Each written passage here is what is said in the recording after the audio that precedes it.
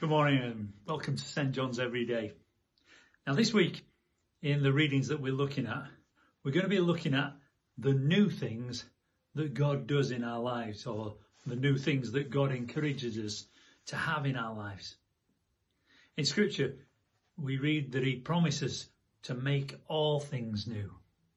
He promises that he will do a new thing.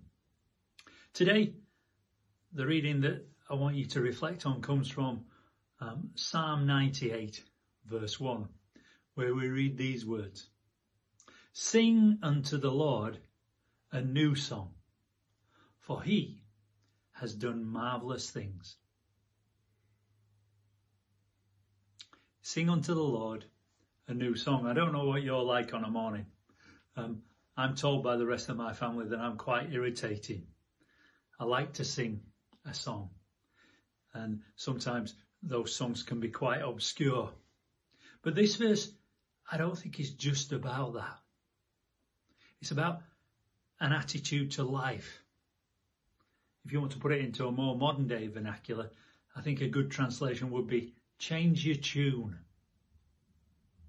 Change your tune. How are you going to face this day? Are you going to sing? A new song?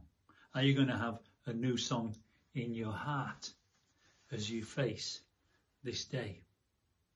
Because certainly at this present time, if we spend all our times looking back to what has gone before, it's very difficult to sing a new song.